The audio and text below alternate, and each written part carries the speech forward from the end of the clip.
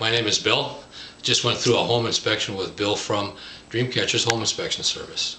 Uh, very great experience that I had today. I came into this thinking that it was very expensive, but the knowledge that I learned today was invaluable. Um, it's one of them priceless type commercials that you would see.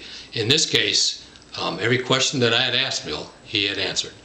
And I says there was a lot of information that he had offered that I never even thought about. Um, fortunately for us, the house was in very good shape, but he covered everything from A to Z to include the exterior, starting with the roof and the rain gutters. And we talked about water issues in the lot.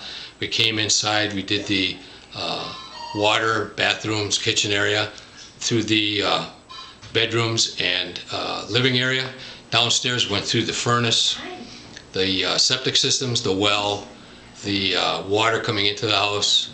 Um, a lot of different uh, aspects that I never even thought would exist as being a plant manager, knowing a lot to do with manufacturing. There's a lot more that one needs to know when it comes to a home inspection.